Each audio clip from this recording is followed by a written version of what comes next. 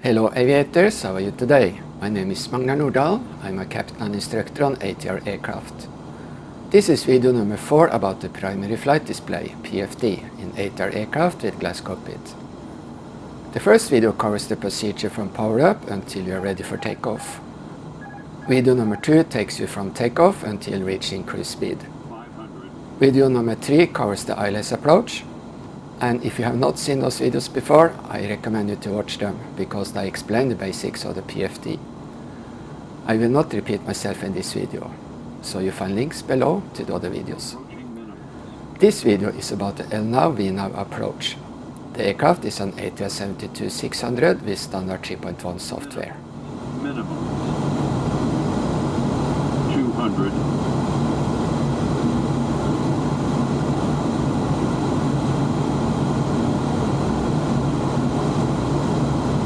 One hundred. Fifty, forty, thirty, twenty, ten.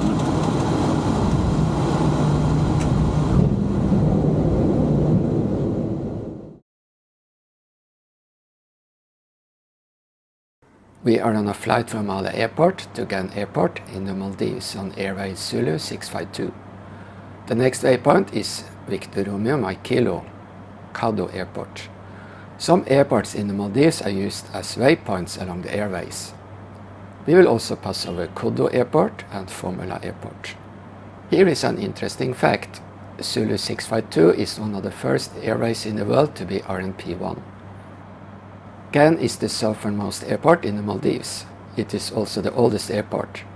The area was established as a military base by the British in 1941 and it served as a base for the Royal Air Force until 1976. Gan Airport is now an international airport and the home base for the only flight school in the Maldives.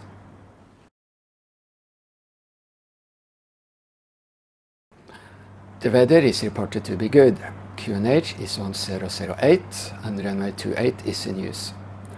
We will fly an RNP approach. Are you ready for the briefing?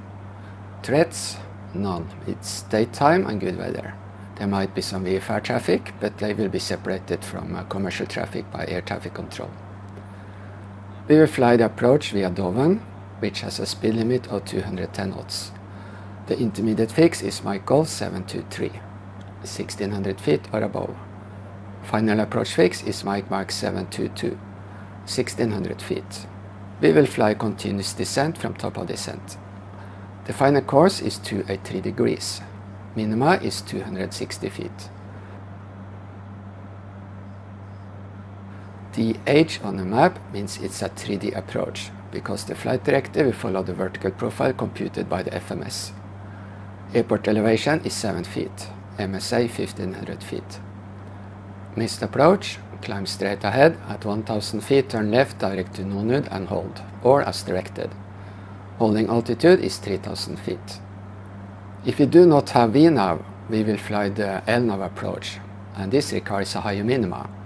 When flying this approach, you use VS mode for descent, and this is less accurate than VNAV. Think about an ILS approach versus a localizer approach.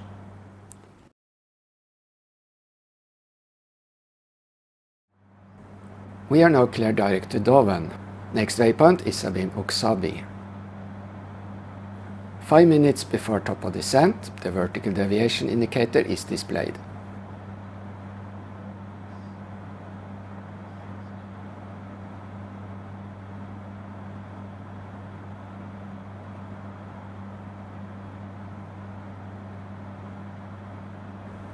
We tell Mali Control we are ready for descent. And they clear us 7000 feet.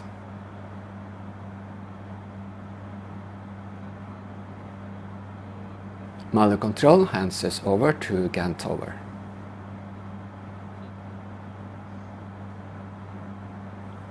Vina green, Altse blue.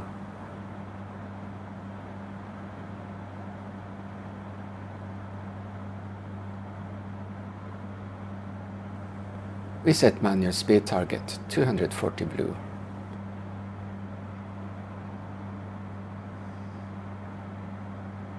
tick as below. Design er checklist.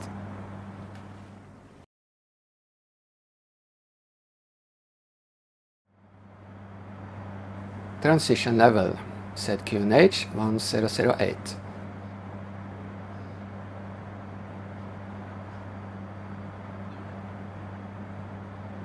Passing 12,800 feet now. GAN tower clears us RNP approach runway 28. We select 1600 feet.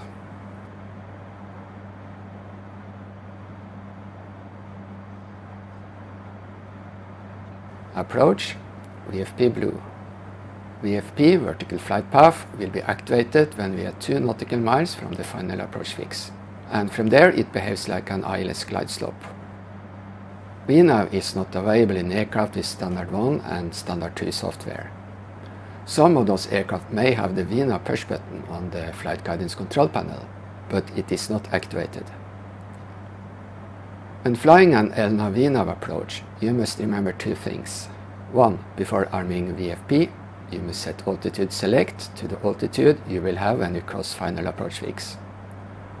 And two, you must only arm VFP when you are cleared approach. While this mode behaves like an ILS, it is not an ILS. Instead of using signals from antennas on the ground, the RNP approach is based on FMS, which receives signals mainly from the GPS and the barometric altimeter.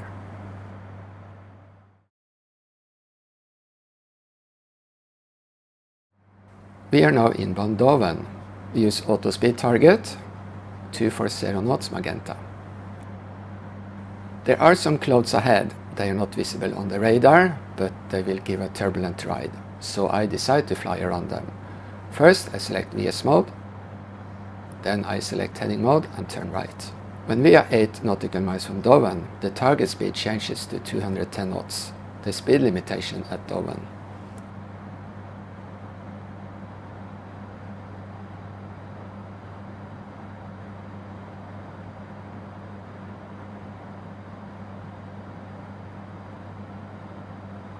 When we are below 10,000 feet, the weather radar is set to 5 degrees tilt up.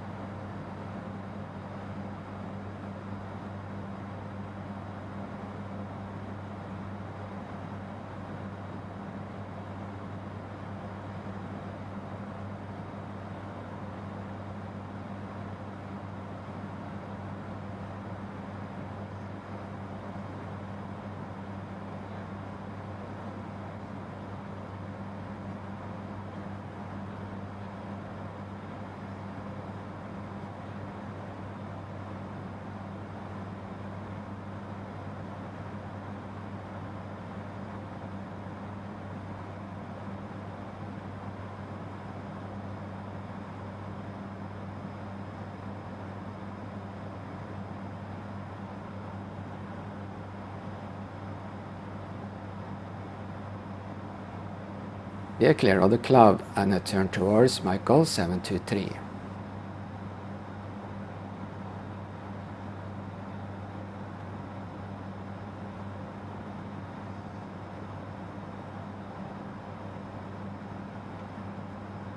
The FMS is set direct to Michael 723.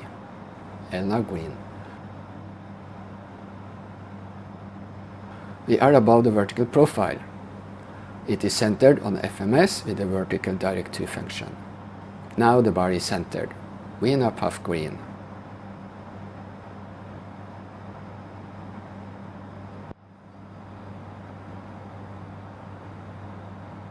Select approach, VFP blue. Since the Doven is bypassed, the target speed shows 240 instead of 210, but we stay at 210 knots.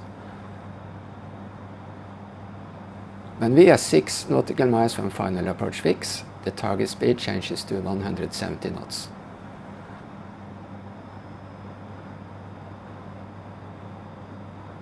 And I reduce power towards flight idle.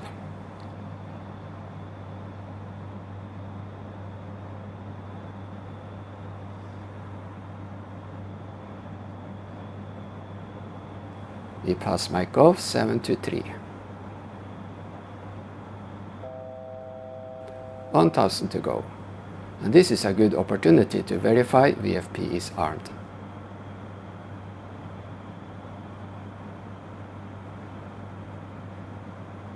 Radio altimeter alive.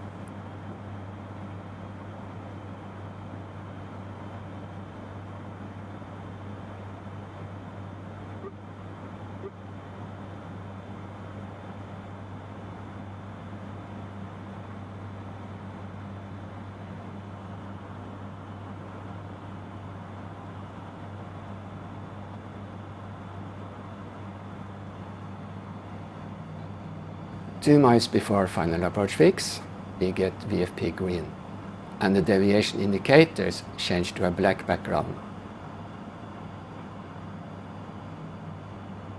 Set ground altitude 3000 feet. Flaps 15, target speed 140.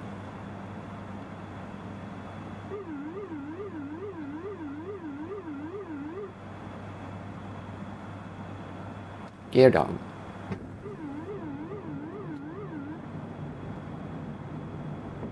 The flashing vertical bar and target vertical speed means the vertical path will change when we cross over the next waypoint.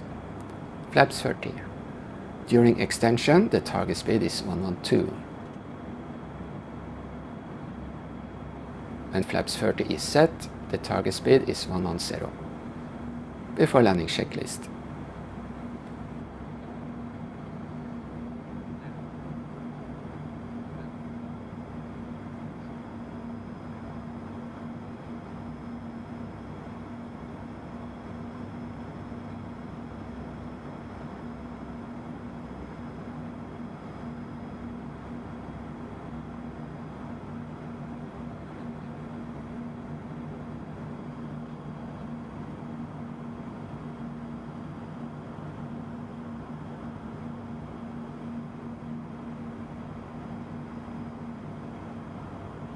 When passing 1000 feet on the radio altimeter, the maximum bank angle in turn changes from high bank, 27 degrees, to low bank, 15 degrees. When passing 900 feet on the radio altimeter, the TCAS changes to TA only.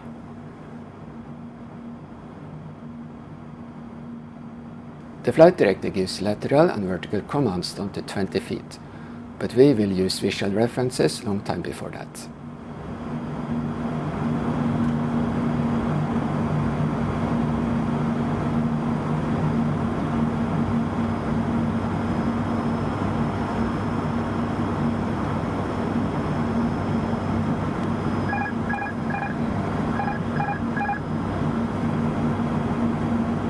Five hundred.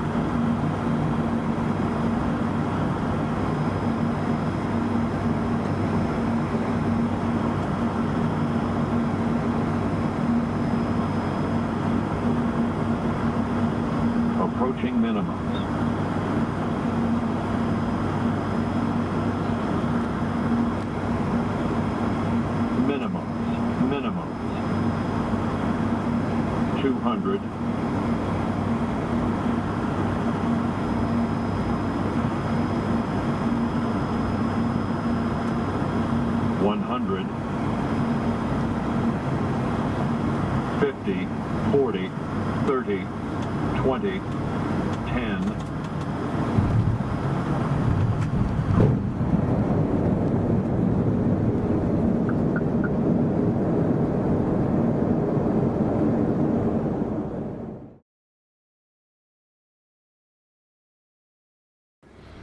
And that is all for this time.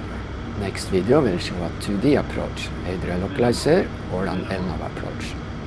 Thank you for watching, have a wonderful day and happy landing!